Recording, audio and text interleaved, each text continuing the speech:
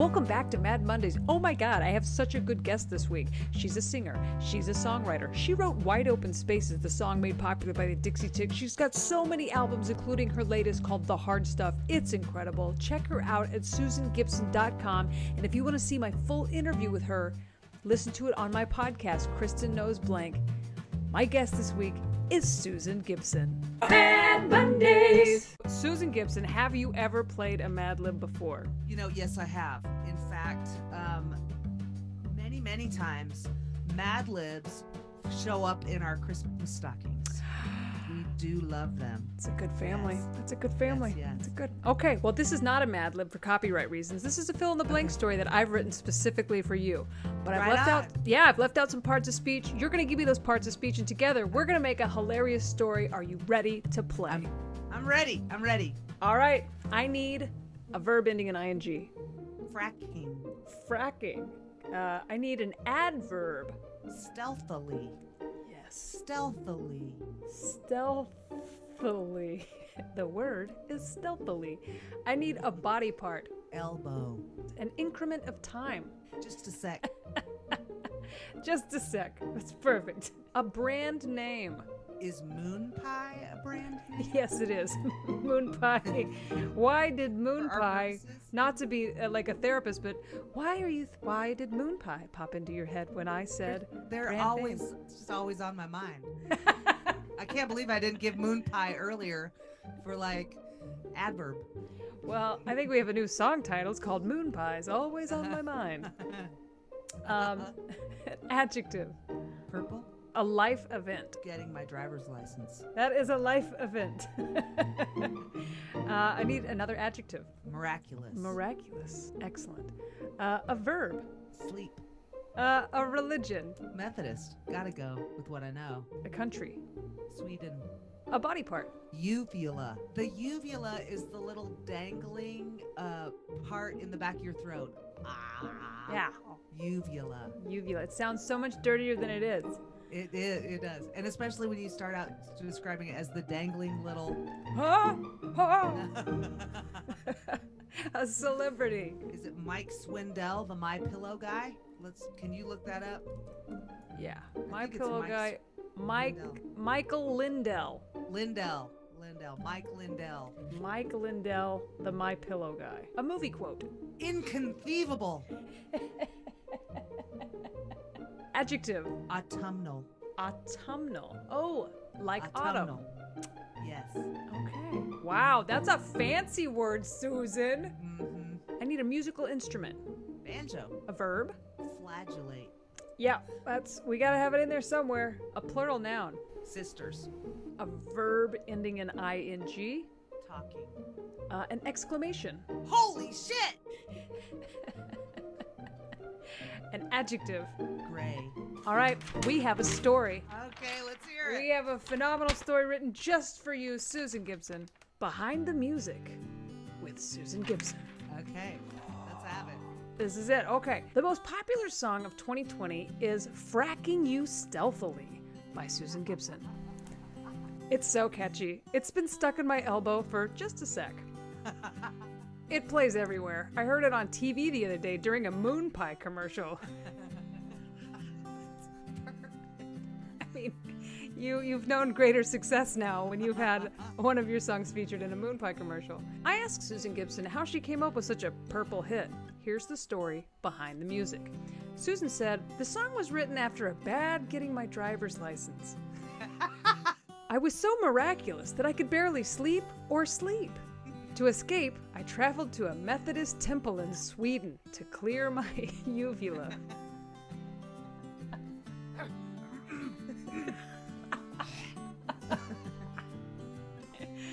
While there, I met Mike Lindell, the My Pillow guy, leading a guided meditation. He told me inconceivable, which became my mantra. the experience left my mind autumnal. As soon as I got home, I picked up my banjo and began to flagellate. I wrote everything I was feeling. I wrote about sisters and talking. With the last line, I said what had been trapped inside me my whole life Holy shit, you're gray. That's awesome. I'm so excited. I can't wait to hear that on your next album. I can't wait either. Mad Mondays. So here's Chin Up.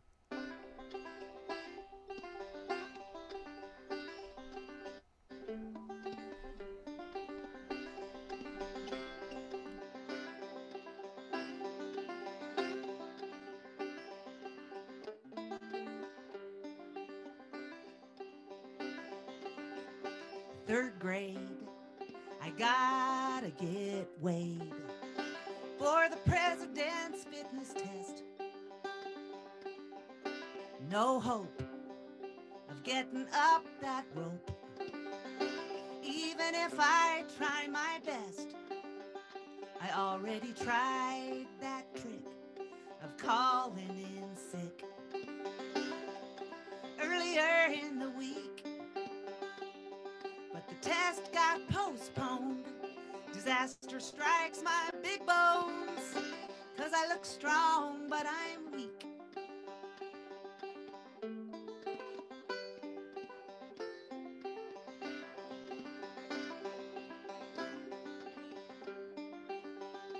Oh, you can make it a game when they call you by your last name. Pretend it's just a firing squad. And I still bear the scars of my time behind the monkey bars. More on my brains than on my body. And now it's four tenths of one second. It was my old school record. I wasn't carrying my own weight. And needless to say, I remember that bad day when I didn't get the high pass, the president's fitness test certificate. It was just a piece of paper, kind of like a college degree or a hundred dollar bill. Just a piece of paper. I take it back. It was number 32 light blue cardstock with a gold foil seal. Just a piece of paper. That gold and that Ronald Reagan signature was not real. Just a piece of paper. A piece of paper. Oh, chin up. I got to keep my chin up. Don't let my head rest in my hands. And sure, it gets hard. They keep raising the bar. Everybody understands. You keep your chin up.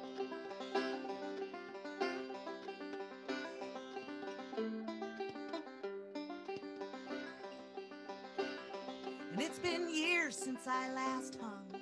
Man, I seem too young for 40 year old memories. But that memory, it's still fresh, like I burned it into my flesh. Sometimes I check to see if it's still bleeding. Now I'm walking with my hound past old St. Mary's playground. I could swing back and forth for hours and hours till I can feel the need for something just beyond my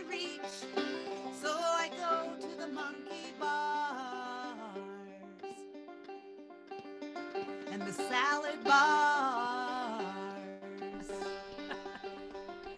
I reach out my arms, I tighten my grip. My knuckles white so my hands won't slip. I clench my teeth, I can hear my breath. I am using every ounce of strength to keep my chin up. I got to keep my chin up. Don't let my head rest in my hands. And sure, it gets hard. They keep raising the bar.